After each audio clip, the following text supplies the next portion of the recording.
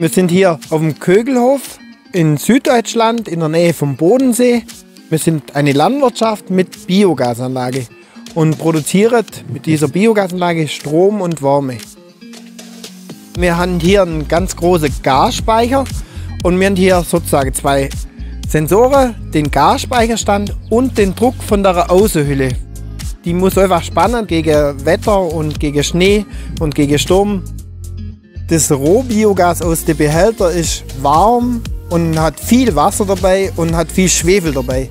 Und das ist alles ganz schlecht für die Motoren. Und das muss einfach aufbereitet, gereinigt und entwässert werden. Und hier haben wir so eine Anlage, wo das macht.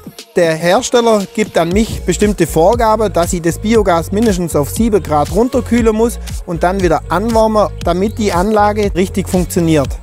Der liefert das aus, aber ohne Sensoren. Drum war das jetzt richtig klasse mit den IFN-Sensoren, wo wir da installiert haben. Jetzt weiß ich genau, das Gas kommt mit der Temperatur, wird runtergekühlt, die Anlage funktioniert und wenn da Abweichungen da sind, dann kommen Alarme und ich weiß, wo der Fehler liegt. Wir haben früher immer Kabel gelegt vom Sensor und heute hast du deinen Master, hast deinen Sensor mit IO-Link, stöpselst ihn ein, hast ihn auf dem Moneo Pop da.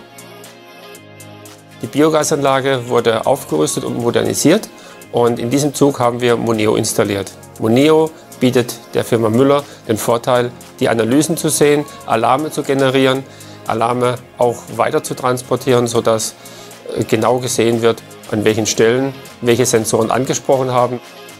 Die Biogasanlage wird ja immer komplexer, Daten über Daten und Sensoren und ich muss schnell einen Blick über alles und dank Moneo habe ich die ganzen Sensoren drauf. Wunderbar schöne Grafiken. Wenn ich irgendwo Abweichungen sehe, dann kann ich das zoomen und kann schnell der Fehler finden. Das ist ein riesen Mehrwert für mich, weil ich einfach viel mehr überwachen muss und mir produziert Strom an der Strombörse, da muss ich Leistung hochfahren, runterfahren, ich muss wissen, wo steht meine Anlage, wo sind die Werte und das klappt einfach super mit IFM und Moneo.